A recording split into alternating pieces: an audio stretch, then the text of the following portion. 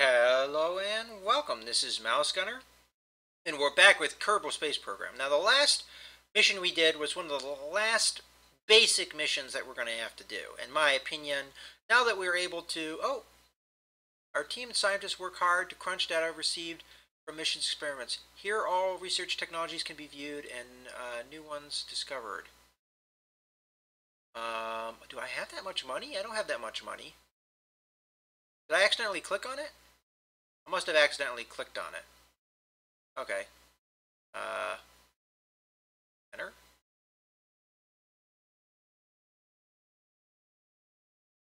How do I get that screen to even pop? Oh, I right click. Okay. I was curious of why that happened. Alright, so if you right click on buildings, it allows you to upgrade them and things. So, Oh, so that's why we, we have a max parts uh, cap unless we upgrade. So max parts supported is 30. If we upgrade it, we get 255. We get basic action groups available. Okay, so it looks like that is something that is on the dock that we need to do. What, what else can we upgrade? So orbits visible on map and patched conics visible on map. I'm not sure exactly what that is. All right, what about this? So max vessel size, max vessel weight. That's what we ran into last time. It looks like we dramatically increase that if we upgrade. Now, unfortunately, we don't have that much money beyond this, and I, am not really sure that's something I want to do just yet. But that's something that's probably a high priority. Okay, uh, we have mission control, max contracts 2, max contracts 7. Um, that would have been handy earlier uh, when we had that one mission we couldn't select. And we have a tracking station upgrade required for flight planning. Okay. That's interesting. I already checked out the mission control. We don't have any additional missions beyond what we already have. So let's uh, come back. Uh, let's see here. Administrative building. So we have five active Kerbals. I think we might already have four and Kerbals can only disembark on Kerbin. And then we have Kerbals can perform EVAs, and Kerbal, Kerbals on EVA can place flags. And we have 12 active Kerbals if we upgrade, so that's a nice upgrade. Then administrative buildings, max active strategies. So I'm not really concerned about the strategies yet. That's something I haven't really gone over a lot. But essentially, you trade one attribute for another benefit of an attribute. Essentially, it's kind of like a balancing act. Uh, but let's go ahead and get into our mission. That was an interesting accident that I found all that stuff out. So now we have a choice of a different cockpit. You know what? I'm thinking we probably should do an upgrade because looking at cost of things, I don't think we need, you know, like 20k or something to finish this. And we're going to have like roughly 15-ish K left over. Uh, so I, it may be worth upgrading um, the uh, launch pad so that we can have a heavier craft. Because that's the best way we can guarantee getting out of the atmosphere is having a bigger craft. So let's go ahead and exit. And why don't we upgrade our launch pad? Because that sounds like a really good idea. So uh, if we go here, we had that maximum size and weight. Now we can dramatically increase that with this 75 thousand, whatever that currency is, upgrade. So let's go ahead and do that. We only have uh, roughly 16,000 to work with, but I think we can uh, work things uh, with that kind of money. So this is a lot more expensive. Uh, let's see what the benefits are, though. So we have, uh, we can, can Oh, there's a lot more involved with this than uh, there used to be. All right, so we have some monopropellant and some electric charge. It looks like we can, our science experiments, I'm not sure what collectible data means uh, because we were still able to do science experiments. And it looks like there's not really a difference between the two. Now we do have the pitch torque goes up with this one, and also the electrical charge required goes up. Um, we also have a difference in the monopropellant. This one has more. And it's a lot cheaper, so I think we're going to stay with this one. Okay, uh, next thing we're going to do is our fuel tanks. Uh, now, because we unlocked the structural components, we can now do staging, which is going to help us a lot. Um, so we're going to try and do a more traditional kind of setup uh, with a stage. There we go. We get a stage separating our capsule. And I also want to make sure I grab a parachute. There we go. Um, so now we only have to worry about one parachute. That saves us a little bit of money, but it also, uh, you know, it should save us on weight and things like that as well. Um, now I'm going to go ahead and do the uh, fuel tank. It'd also be nice to have the uh, the fuel lines at some point. So I think I'm going to do just three tanks, and we're going to do our normal engine. And then we're going to do another stack decoupler. And we're going to do a solid fuel booster. And I'm really curious uh, how this is going to do, just as it is, honestly. Uh, but I want to make sure I also am doing the, the science objectives as well. So I'm going to do something like this. Now there's a possibility this will overheat if I do this. Um, and I do have to be concerned about that. And if it overheats, what I can do is I can just uh, get rid of the, disconnect it. Now there's a danger though if it's still going, it will flip my craft or collide with my craft and kill uh, my poor, poor uh, Kerbal in there. Alright, so there's our stack decoupler there. Then we have our uh, thrust here. We're going to want to separate the uh, parachute and the decoupler. So it looks like we have a pretty basic rocket. And this is what, you know, this is a, what I consider a true, you know, rocket. What we were doing before was very limited in scope. Okay, so the other thing we want to do is we want to get ourselves some science stuff. So first thing, we don't need four antenna. We're just going to need one. I want to grab it and put it put it right there on our little hatch. And then I'm going to also grab one of these mystery goos in case we actually make it out into space. Uh, essentially with the mystery goo, uh, with the description, you want to get it you want to get it uh, into space uh, for it to give you the most science. I think you can still get science out of it in the atmosphere, um, but that's something that we can kind of wait and see. If we don't get into space, we can just we can just fire it off and get the science from it in an atmosphere. If we get into space, we'll use it there. But also, because of this antenna, we'll be able to uh, acquire crew reports in the atmosphere as we're going through it and transmit them as our parachute is kind of letting us down. So uh, at least that's the idea in principle. But you know, this is one of those things you kind of have to do it and just find out how it works. So uh, this is going to be our first one. We're gonna we're gonna actually name, and we're gonna name it really something super original. The X1. X for experimental, one for being the first one. All right, so why don't we go ahead and launch this? Now, ideally, we're going to get a lot of science out of this. Ideally, we get out of the atmosphere, but not all of those things may happen. We're just going to have to find out. So I'm going to go ahead and thrust up. And I haven't been using SAS, and that's mostly because I forgot the button, but I looked it up, and now I'm going to enable that. Now that's going to burn through our electrical charge as it gets used, but it will keep our craft a little bit more stable, and we definitely want that. So let's go ahead and launch. This is going to be our solid boosters first. Now we're going to have to watch for overheating. If it overheats, we may have to eject it. I don't think it's going to be an issue though. Okay, so we have our first separation coming soon. There we go, and launch. Uh-oh. I had to I had to ditch that because it wasn't looking good. All right. So now what we're going to do is we're going to go ahead and do a crew report once we get it into higher space. I mean higher atmosphere. Uh, looks like about right. Let's do that. Okay, uh, that is apparently not worth anything. That's unfortunate. Um, okay. Let's go ahead and observe the mystery goo. Now, it's going to be worth uh, 7 science, and might as well fire off our parachute while we're here. Twirl around. We're going to get 7 science if we land with it. Now, if we transmitted it, we'd only get 2 science, so that's one thing to keep in mind.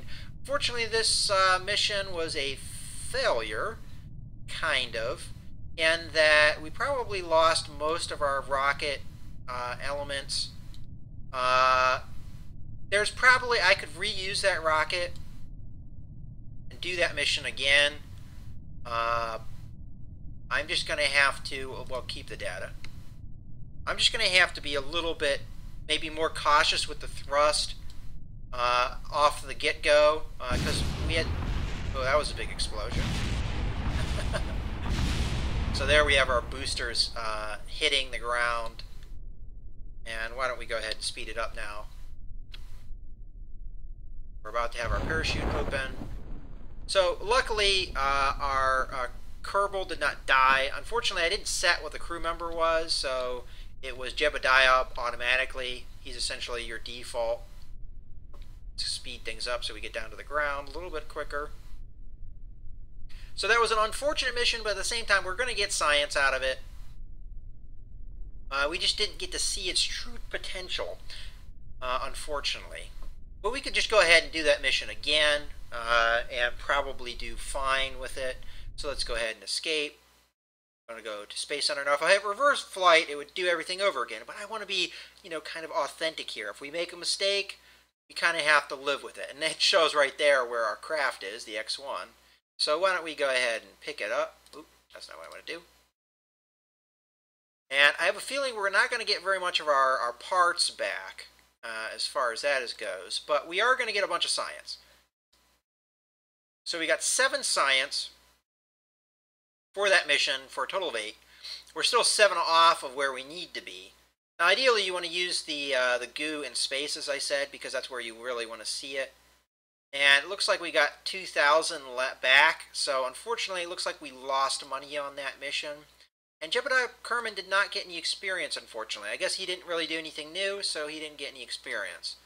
Um, so we're going to go ahead and do that launch again, but this time we're going to be a little bit more careful with our launch. Uh, possibly this thing's a little top heavy, and that's why that happened. You can actually see uh, your center of mass. Probably what happened was once we launched these off, it really unbalanced the weight of the craft, and then we just did full thrust after that, and it, it kind of went out of control. Um, so it might work just fine as it is. We could also do something, you know, a little bit different with it as well. But I want to see what the potential of the X1 is without it blowing up. So let's go ahead and grab a crew member, and we'll grab Bob because he has not been up in space, uh, well, the air yet. Okay, so hopefully this time we can get maybe some better science out of this thing because we'll get a little bit higher. So uh, now that we have everything set up, why don't we do our launch again.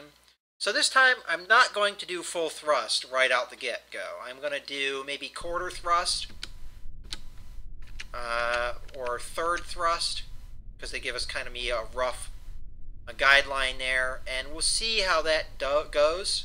I'm also probably going to wait a little while before I hit the thrust.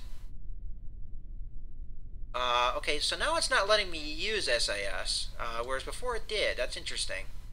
Maybe that was just a bug. Maybe I wasn't supposed to be able to use SAS. Maybe that's why the mission went wrong. Okay, in any case, let's go ahead and try this one more time. So we get our initial go. I have a feeling we're going to need a lot more than this to get into into the uh, space, out of the atmosphere. Okay, we're about to lose our...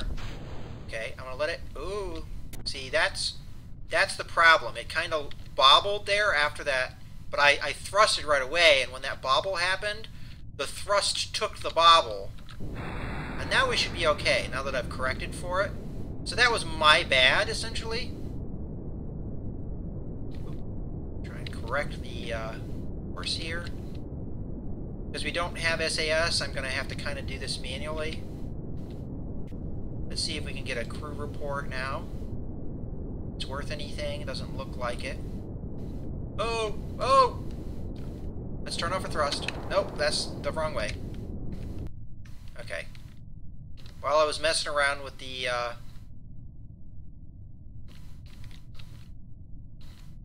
crew report, we lost our...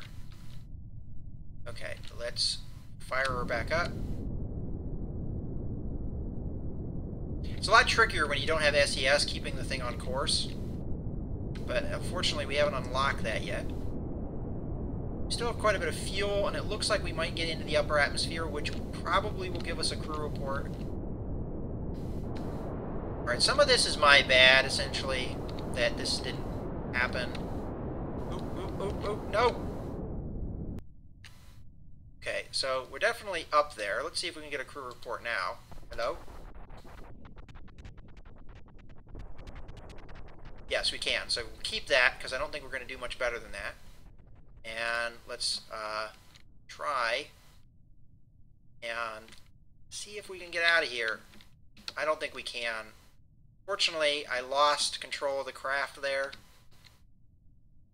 We're still going up.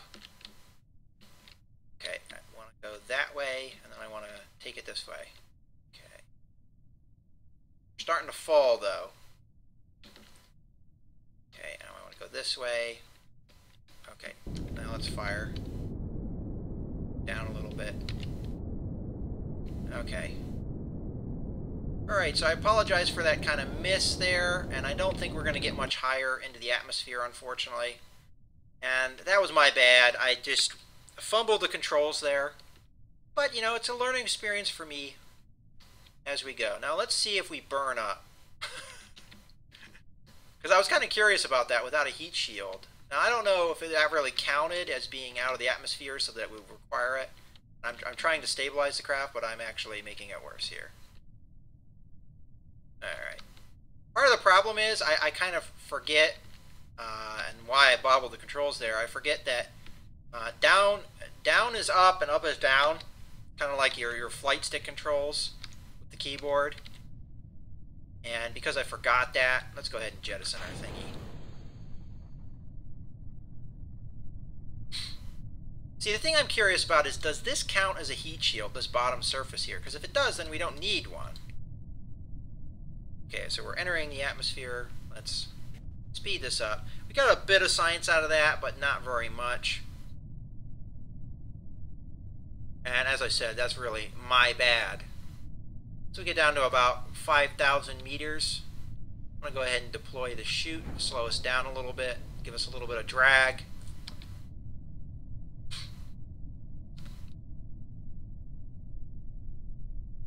And there's our, our boosters slamming into the ground. Fortunately, I didn't catch that in time, but that's the bit there. So as you can see, we're kind of not getting the same kind of money reserves. Although we did get a new height kind of unlock milestone, which should give us a little bit of currency.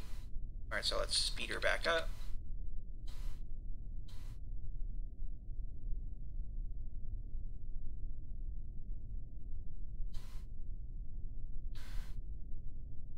Probably what I'm going to do is I'm going to go a little bit more ambitious with the X2 I think this is pretty much uh, the X1 running its course. To me, it's clear that uh, we're not going to uh, we're not going to get uh, much better. I, I think we might barely be able to get out of the atmosphere with this rocket, but I just want to guarantee it. So the next rocket I build, I think, has a much higher chance of getting out of there. In any case, I hope you guys have enjoyed that this video. We're going to go ahead and uh, get back to our Space Center, see what our results are, and then call an end to this video. So, and unfortunately, the uh, the uh, X1 didn't uh, achieve what we uh, thought it would, but it tried its it tried its best. We did get some science out of it. We got roughly 11 and a half science out of it, so that's not too bad. Uh, we also Uh, gained a number of funds, both from, well, recovered parts is not really gaining funds, that's just getting them back. Uh, but we gained some from getting a that milestone, and Bob Kerman got a little bit of experience. So that's all good things. In any case, as I said, I hope you guys have enjoyed this video. This is Mouse Gunner, signing out.